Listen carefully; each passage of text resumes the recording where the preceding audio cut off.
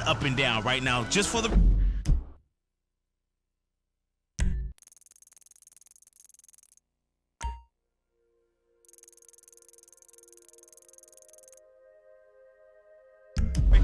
Hydraulics on a car, that's dope. Hydraulic fracturing, not so dope. riding, smoking and riding, smoking and riding. Yeah, uh, yeah. I left my love in San